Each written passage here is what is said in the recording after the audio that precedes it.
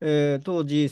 これ1995年なんですけれども、あの僕一緒にあのチベットの死者の書のをろあのティモシー・リアリが朗読しているという、そういう CD をあのプロデュースさせてもらったんですね。うん。で、ティモシー・リアリは何を言ってたかというと、いわゆるサイケデリック体験と言われているものと、えーチベット密教が伝える死後の世界、バルドトドロと呼ばれている、えー死後の世界っていうのが類似してるんじゃないかっていうのがティモシー・リアリの考え方で、うん。で、あのサイケデリック体験っていうのは実はある種の臨死体験とも言われてまして、あの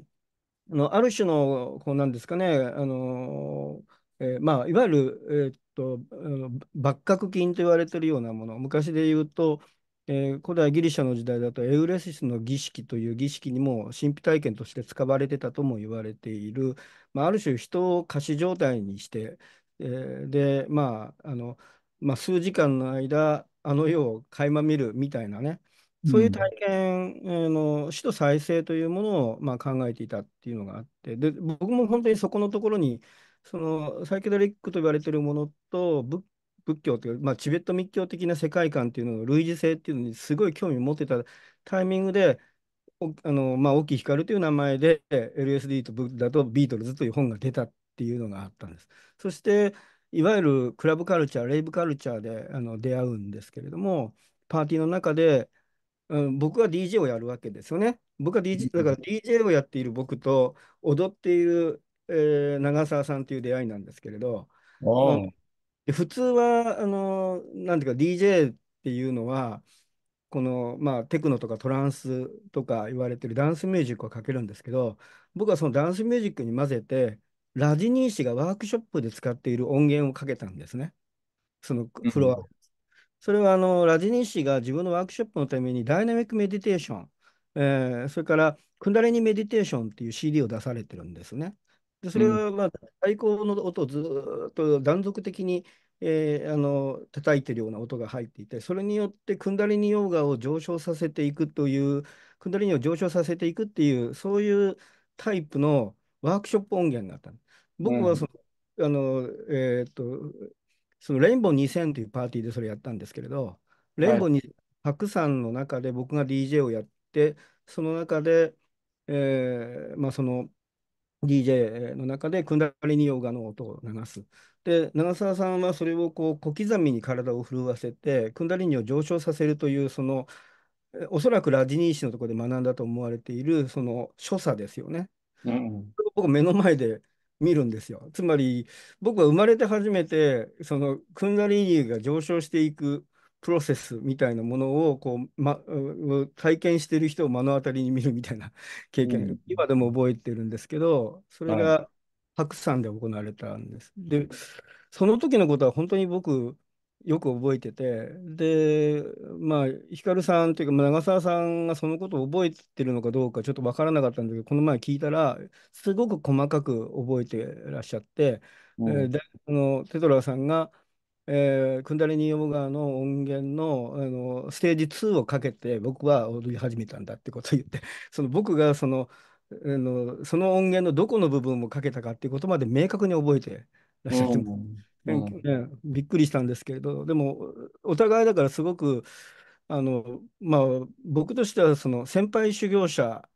にとの出会いっていうんですかね。うん。っていうような経験で、で、僕は音源しか持ってなかったんですけど、その音によって人間のその霊的なそのエネルギーの上昇っていうのが起きていくっていうようなことを、その体の動きというものでこう、まあ、見たっていうね、すごく僕は重要な経験をした。ただ、うん。その後、あの長澤さんと僕は少し距離を置くんですね。というのは、メーリングリストとかでいろんなあのところに入ったんですけど、長澤さんってやっぱすごくね、あのなんていうんですか、ある種こう、いろんな言葉とかの厳密性っていうのを追求する人なので、えーうん。結構いろんなメーリングリストで、まあ、議論をして、そして誰かと対立したり、そしてあのなんか戦いを繰り返すみたいなことがあって、で、僕はその恐ろしくてちょっと近づけないって形でずっと距離を見てこう見てた。うん。で、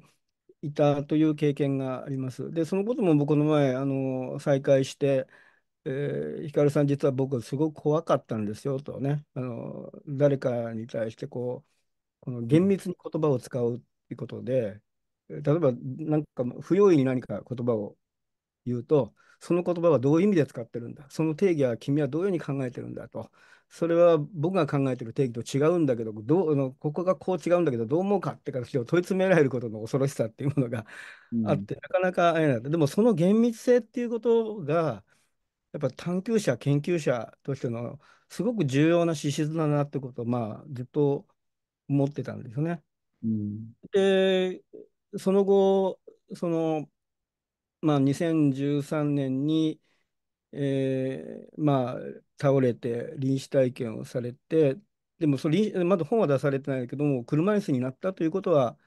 まあ、えー知ったわけです。で、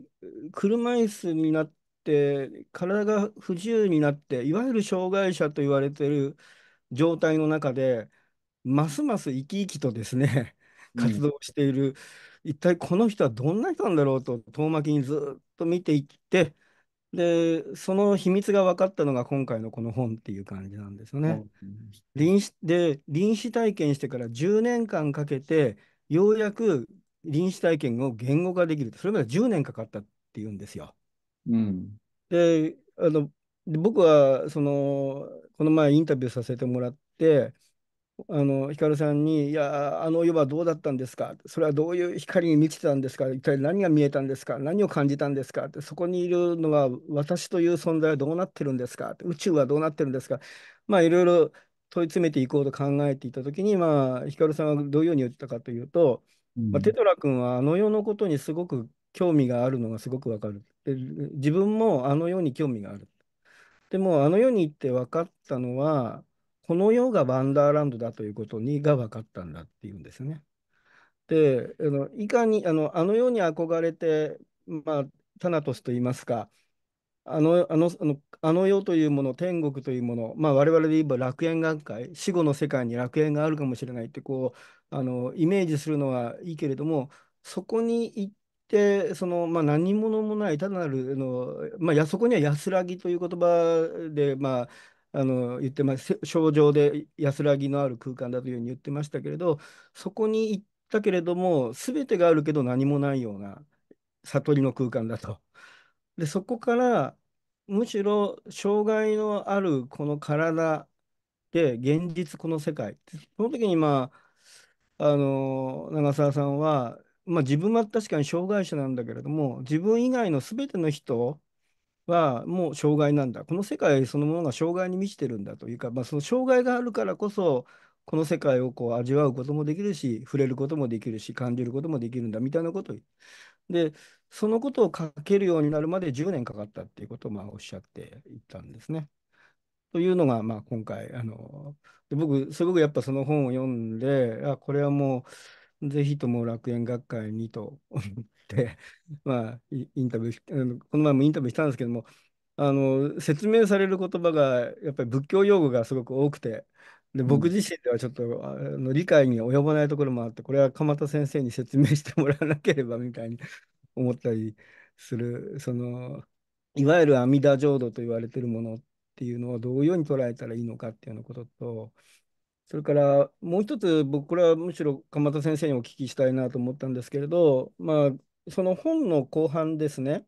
あ、うん、あの、このまだ本読んでない方にその本の構造を説明しますと、最初の3分の1ぐらいで臨死体験のことについて語られてるんですよ。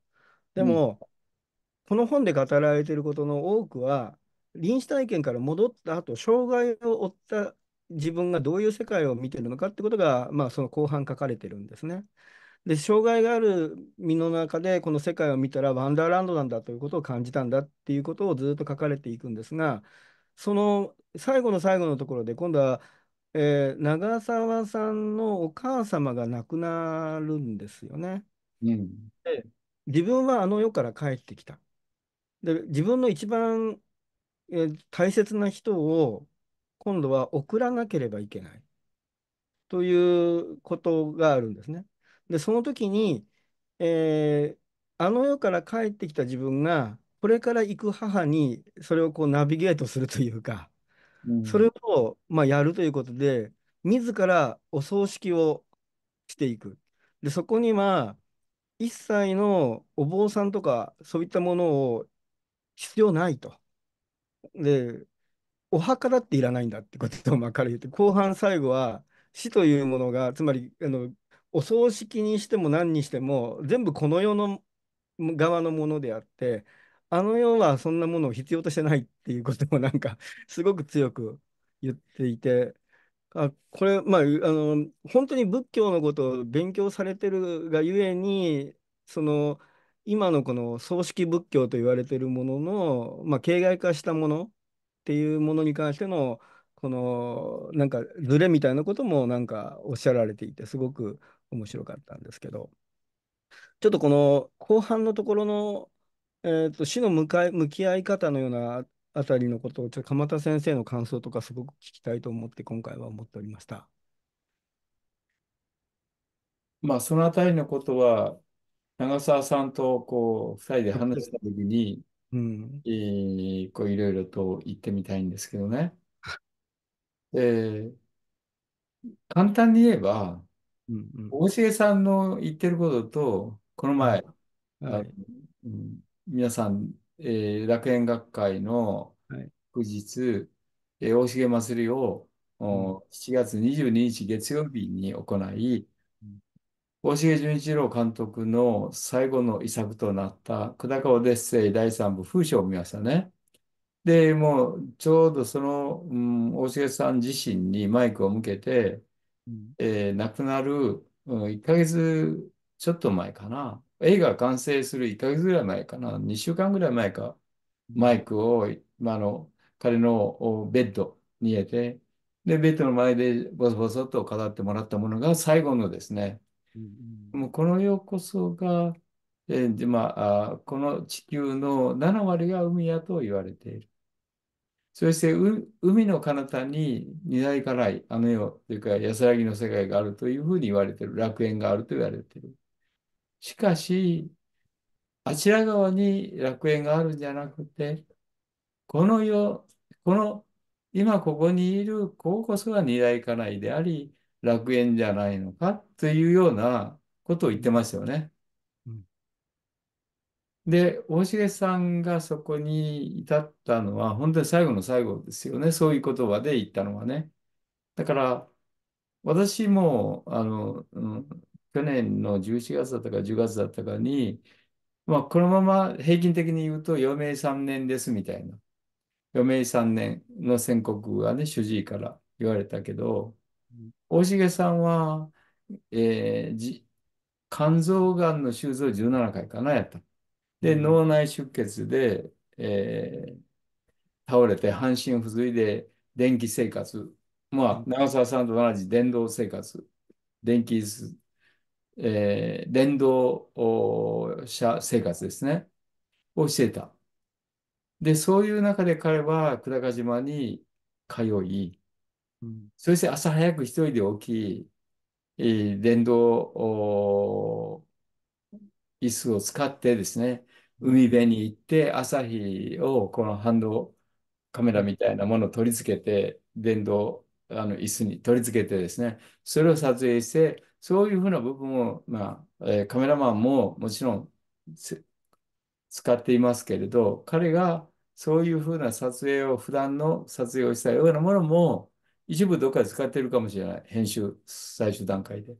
うん、で、でもそういうようなことをを自分自身が撮りながら実感したことなんだよね。うん、久高島で。で、朝日を浴びながら、朝の5時、6時、よまあ4時ね。そそういうこう時間からずっと行くわけですよね、朝。そして朝日が昇ってくる。で、昇ってきて、えー少し経ったら、えー宿に帰るっていうか、まあ、そういうようなことをやっている間に、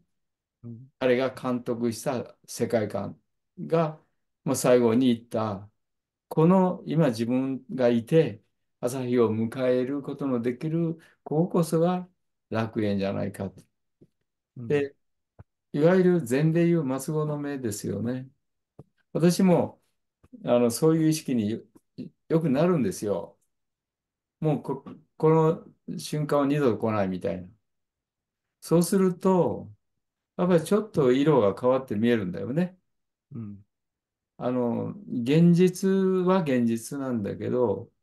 切り取り方っていうのか、切り取られ方が違うんですよね。うん。だから日常のフレームワークの中にあるフレームと違うフレームというのか、まあ、フレームがあるのかないか、ないのか、よくわからない見え方、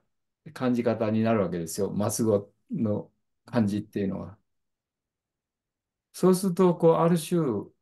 永遠みたいな、まあ、非常に矛盾した言い方になるけど、うん。今この瞬間そのものの中にある永遠性みたいなものにね、何かがこう、ふっとこう、通じていくような、うん。そういう感覚がひたひたと来るわけよね。常世の波が四季波寄せ、寄せてくるみたいな。まあ、これこそが常世だみたいな波がこうん。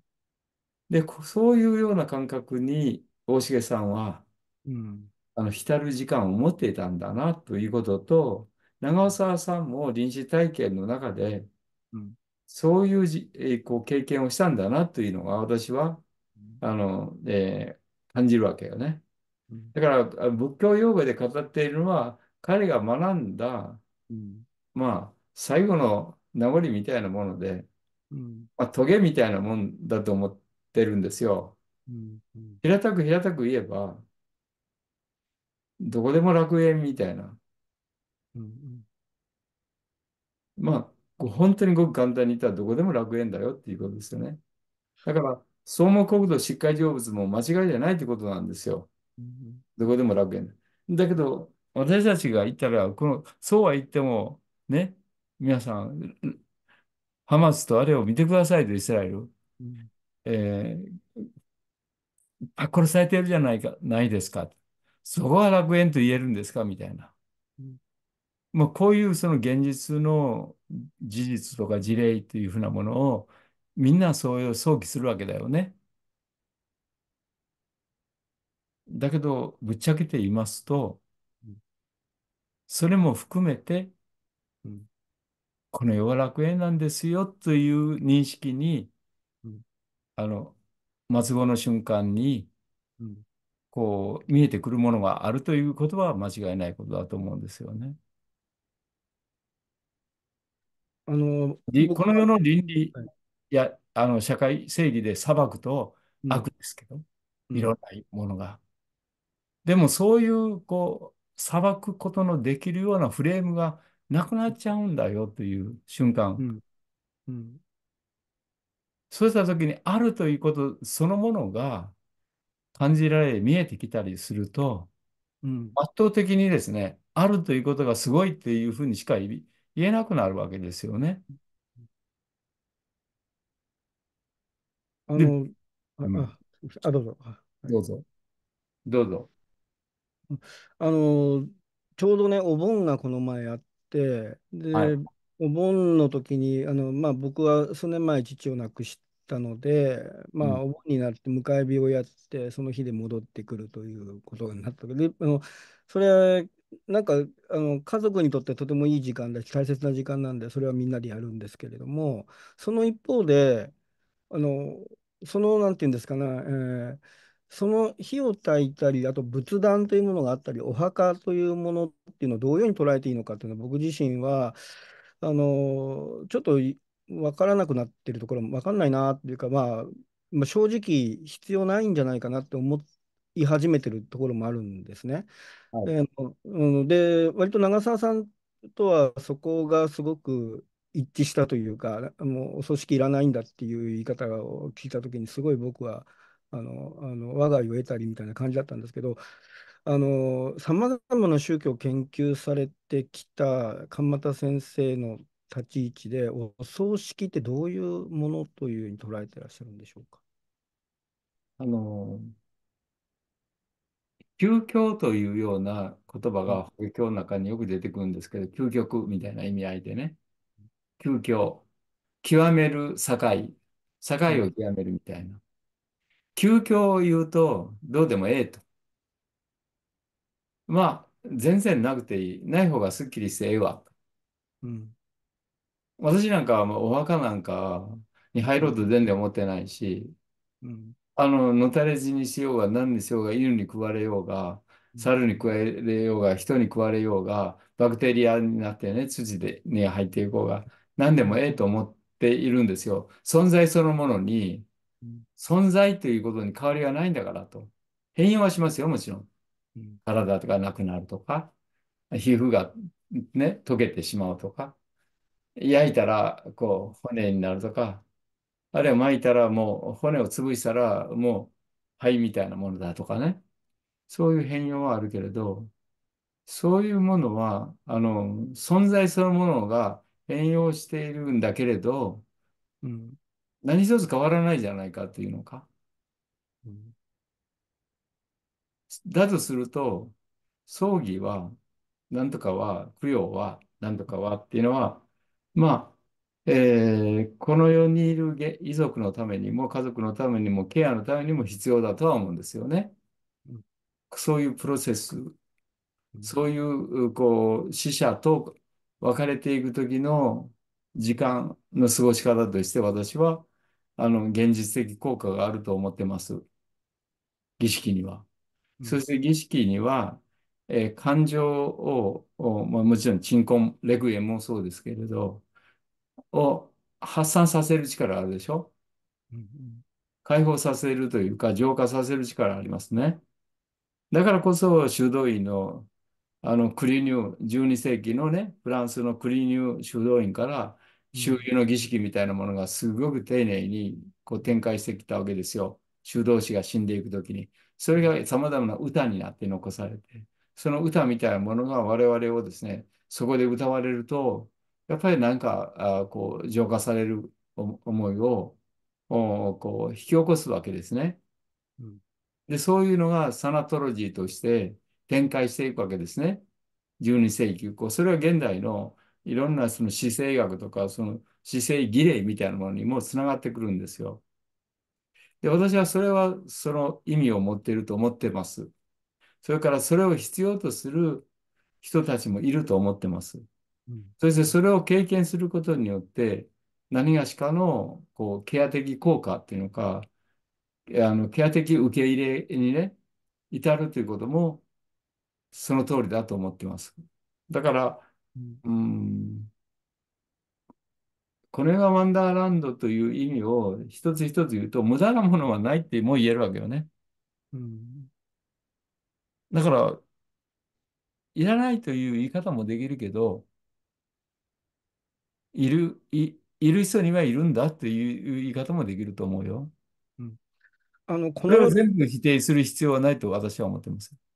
なんかこの世的なね、意味合いはすごくわかるし、文化としてカルチャーとして大切かなとは思うんですけど、あの僕はあの鎌田先生の身体技法研究会に出させていただいたときに、その時にあの多分会員の方からご質問があったんですよね。多分アービン・ラズロの言葉を引いて、はい。えーあの死後の世界に寸分たがわず我々の、あの自我も含めて再生されるんだってラズロは言ってるけどそれについてどう思いますかっていう質問がその時出たと思うんですね。それ、で僕つろ博文さんじゃない筑波大学名誉教授。多分そうだったかも僕名前はまで覚えてないんですけど僕はその、その答えにえそれは答えられなかったんで、えーまあ、ラズロ博士がそのように考えていらっしゃるのかっていうのもすごいあのびっくりだったんですけどそこは僕本当わからなくて死後例えばそこにある種のアーカイブのような形でこの、まあ、全てが存在するところがあるんだとラズロは言っているし、そこでは寸分たがわずこの世界のさまざまな事象が、えー再現されるんだっていうのもとってもロマンティックだと思うし、それを、それがバルト・トゥドル的に言うと、死後の中庸が見せる一つの夢のようなものとしてあるのかもしれないとは思うんですけれども、やっぱり長澤さんの体験の中で完全なる静寂、何もない空間って言われたときに、あやっぱそうなのかなって、そこは僕もまだいあの世に行ってないのでわからんのですけれども、どのように思われます？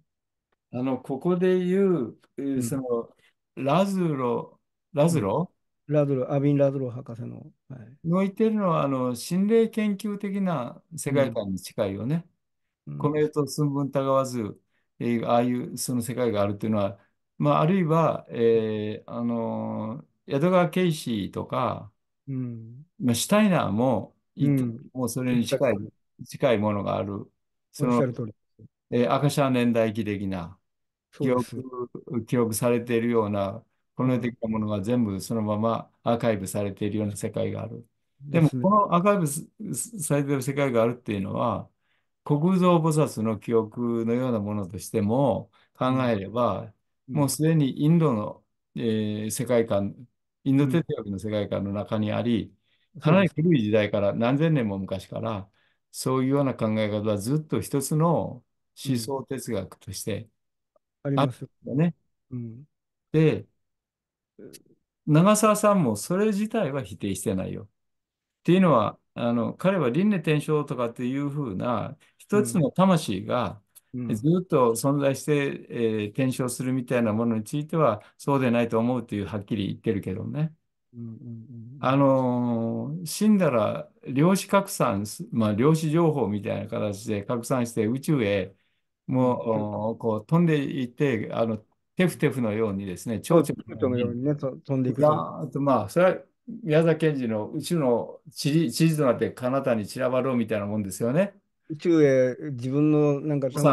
宇宙へ広がっていくみたいな表現されてますね。それがマイクロチューブみたいなものにプッともう一回戻ってくるということもあるということが書いてるんですよね、量子情報が。そうしたときにそういう量子情報が。人の中にこう組み込まれていったり、まあ、表へというか、ある種入り込んでいったら、その生まれから前世記憶みたいなものになったりするというふうなまあ、そういう意味での、あの記憶とか、記憶とか記録とかっていう、まあ、これ厳密に考えると、うん。ちょっとその辺、えーこういろんなあ議論が、えーうん。ややこしい議論になりそうで嫌なんだけどね。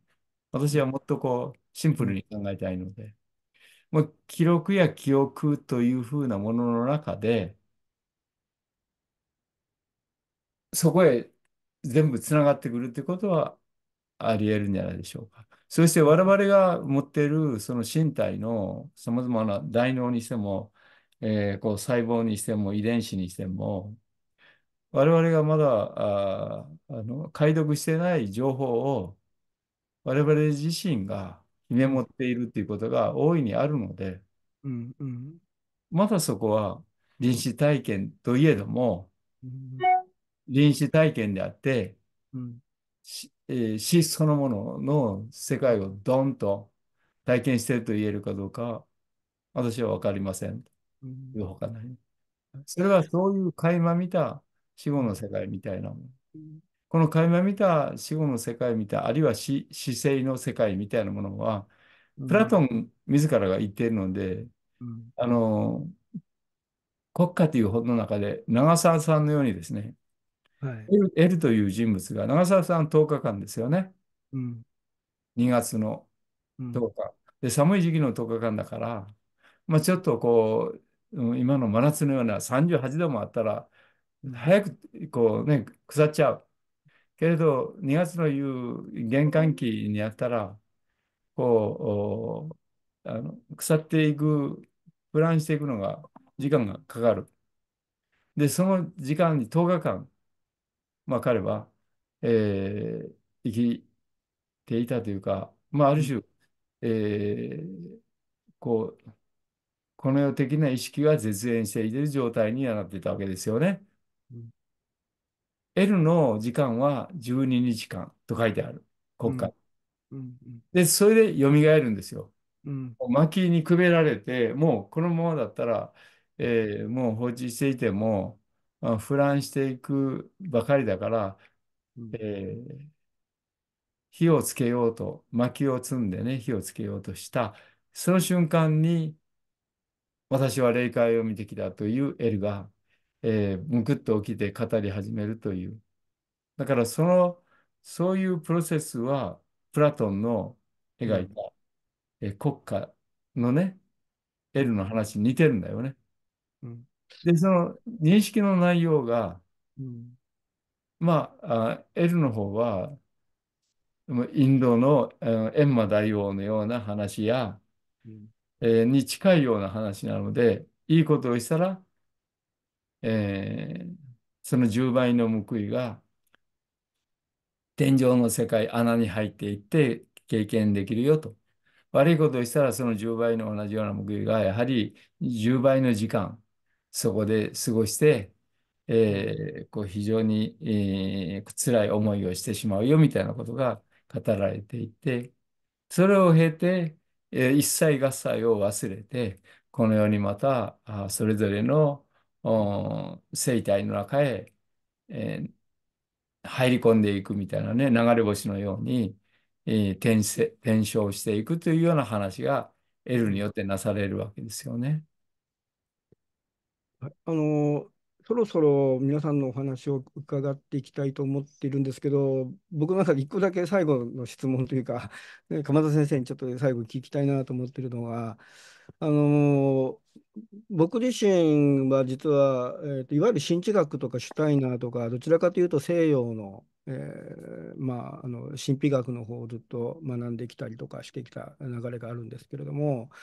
あの、その中でやっぱ、その神智学というのがある種の仏教というものをベースに考えて動い、あの、始まっているということは知ってはいたんですけど、あの、調べれば調べるほど仏教との相違点の方が気になってくるわけですよね。つまりそれは同じような言葉を使ってるけれども、同じような話をしてるんだけれども、要するに死後の世界というか、この輪廻というものは一つの学びであって、成長していくんだという西洋的な進化思想っていうのがベースにやっぱ神智学の方にはあ、あるんですけど、仏教ってやっぱそこのところは否定しますよね。そのつまり輪廻から下脱するっていうことを言いますよね。で、こ、そこのところをどういうように捉えるかっていうことが、まあ、僕の中ではあの最近自分なりに結論は出てきてるんですけれども、まあ、鎌田先生はどのように考えられるのかなっていうのだけ少しだけ聞きたいですね。この輪廻から下脱するということについてどのようにお考えかなと思いまして。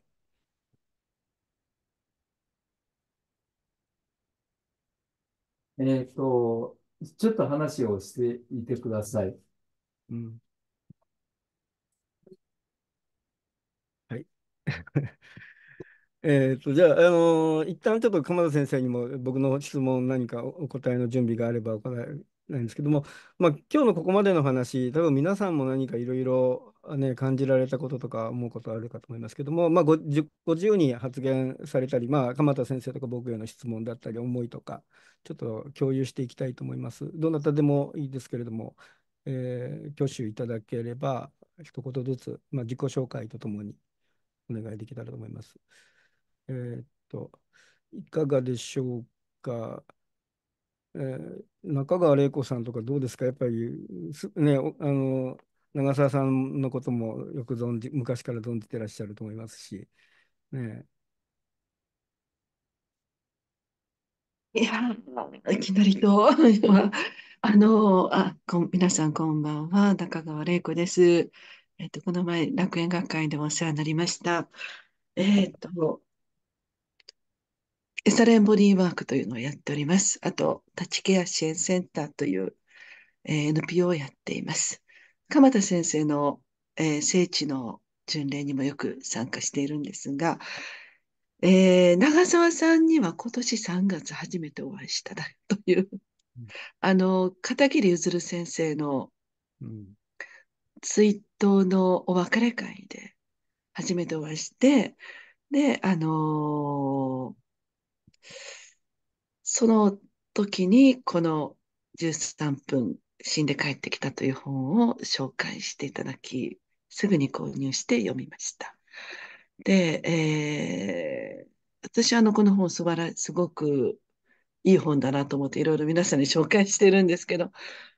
一つは私自身も、あの、2001年ぐらいに体験した内側で光が起こるような体験があったんですが、その時の意識の状態と、えー、長澤さんが臨死体験で体験された状態ととても通じるものがあり、えーこう、意識がこう、スーッと、あの、広がっていくような。で、私は、まあ、そこから何度もそういう体験したいなと思って、瞑想リトリートに何回も参加してたんですけども、あ、これは二度とないなっていうことが分かったときに、これ死ぬときにあるんじゃないかと思ったんですよね。でも、それで、まあ、あの、長澤さんの臨死体験としての、あの、その最後の死の状、死死に行くときの脳や意識の状態っていうものは、これはまあなかなか体験できないわけですが、まあ、それを臨死体験された方は、あの、それを綴ってくださる、言語化してくださるわけで、そこに大変共鳴をしたっていうことと、まあ、なかなかでそういう体験っていうのは、一もう完璧な一日症の体験なので、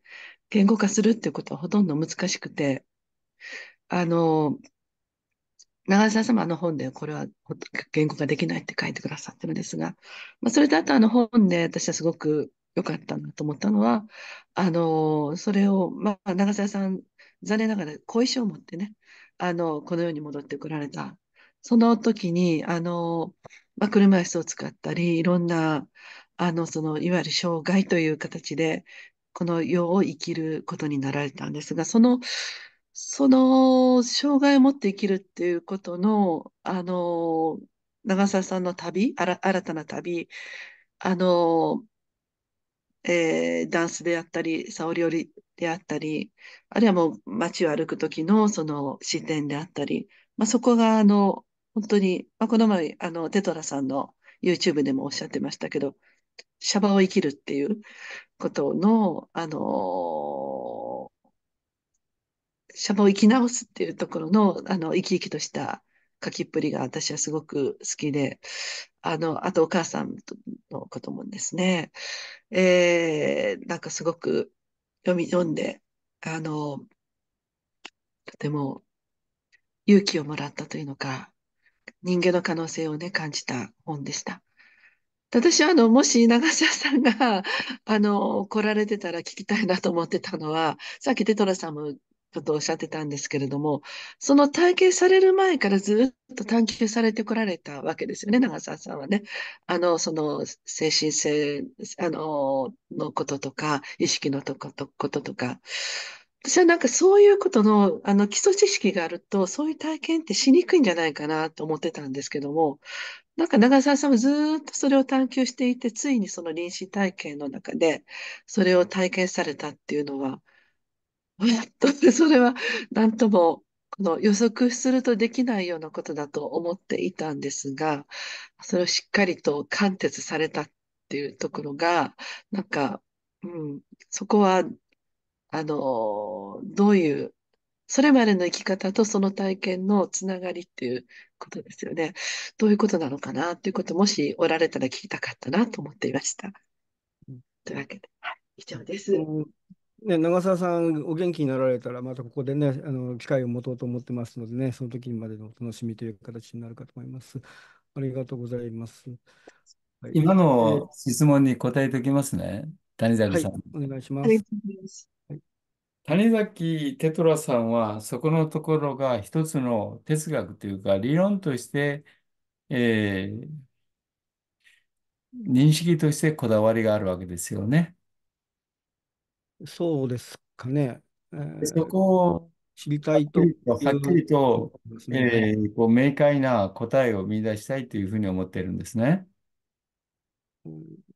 そうですね。あの、なんとなく自分の中では、こうかなと思い始めているところはあるんですけれども、鎌田先生はどう、どのように感私はも。う本当にあの簡単に言うと、どうでもええと、そんなことは。いや、本当、どうでもいいんです。いや、面白いですあね。の、どっちでもいいんです。あの、えー下脱しようがね、下脱しまいで煩悩にまみれて生きても、どっちでもええと。要は、その現実をその人がちゃんと生きてくれればいいというだけなんですよ。うんだから、こう、考え方は、うんあるいは感じ方はまちまちでも構わないと。うん。思想もね、認識もね。うんだから一致する必要がどこにあるのかと思うんだよね。別にうん一致させる必要がない。そのうん人の、その時の感じでいいじゃないのと。死んでいく時も、うん生きている時も。うんまあ、究極そうなんですよ。うんそのままで、ありのままでええよという。だからどうでもいいよっていうのは、うん何でもいいよという、うんことにもなるけれど、そのままでいいですよというだけのことなんですね。うんで、今の問いかけをこう割と真面目に問いかけながら、自分の言葉でうん語っているのは、この、あああ、はいはいはい。おすすめ自分とかないからなんです。はい。で、ここにある自分とかないからの自分とか、自分なんていうものにこだわり、こだわり、こだわりしてきて、この自分があるから輪廻してもその先があるとか、どこまで行っても自分がついて回るじゃないかという、ね。まあ、その辺の、その、これはその西洋の自我の延長線上にあるだとか、その西洋の自我の延長線上にあるものの考え方の基本はギリシャ哲学にあるとか、まあ、そういうようないろいろな哲学の歴史や思想の歴史のいろんなものがあり、それはインド哲学にも共通の考え方がね、アートマンとブラフマンという考え方があの自我論とつながるようなものがあり、いや、仏教はそれを否定してアンアートマンであったとかっていうふうなことはね、仏教にして。だからこそ空というのは、そういうその自我っていうか自己、本来的自己みたいな、そういうふうなものを超えていく自自我とかないから、自分とかないからっていう方向へ行っていくというね、まあ、これはあの東洋仏教の本筋にある議論を自分の言葉で、まあ、あー書いているわけですよね。はい。うんで、彼が最後に持ってきたのは密教でしょ？うんおっしゃる通り。うんで、密教ってほとんどインド思想なんだよね。うんだから神智学ともうん似てるところが非常にあるんですが、神智学が神智学である特徴は先ほど言ったあらゆるものを進化論の図式の中にバチッとフレームワークし,、うんしたというか、収めてしまったという。うんまあ、進化の絵巻の中にね、うん位置づけしすぎてしまった。果たしてそんなあのうまくその進化してるんですかというね、まあ、あ疑問はいろんなところで湧いたりするんですけれど、でも私にとってはそれはどうでもいいことなんですね。で、私は私の、あの旅を続けるだけであって、どういう認識に至ってもそれ、その時々の認識でいいという気持ちで今おります。で、私は思想長に乗って空へ飛んでいくっていうだけだから、あの、それを追いかければいいだけのことだっていう。はいまあ、そんなようなことで、空自分があるかどうかっていうのは、私は思想長になる。その、うん、じゃあなんで恐竜は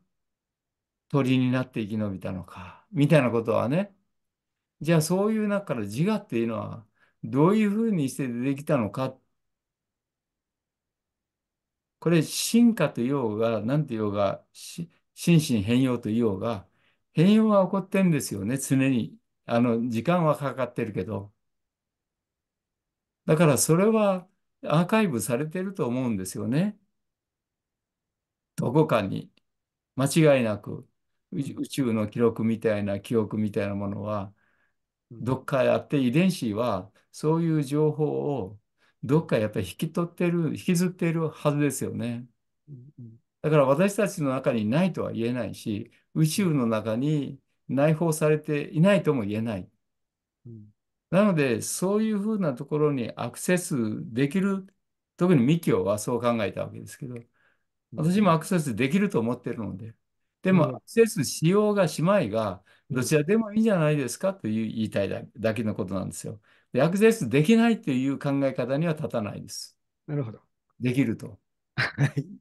だけど、空という立場を取ることもできるんですよ。うんでも空という立場はですね、やっぱり人間スケールと私は思ってるんですね。恐竜なんかから見たらどうなのかとか、宇宙という側から見たら、うん。本当に空という人間が煩悩の中からうん、こう抜け出したと思っているこのうん、夢みたいな話ね、このフレームそのものが何なのという、そういうえあの問いもあるんじゃないですか？と。うんだからそ空なんていうふうなところで満足しているのは人間だけじゃないですか？いや、素晴らしい お答えで、いや、面白いお答えで、あの大変あの、はい、あの満足いたしました。はいえーありがとうございます、えー中俣先生。あのここの話題ど、いくらでも深められちゃうんですけど、ちょっと皆さんからも少しお話を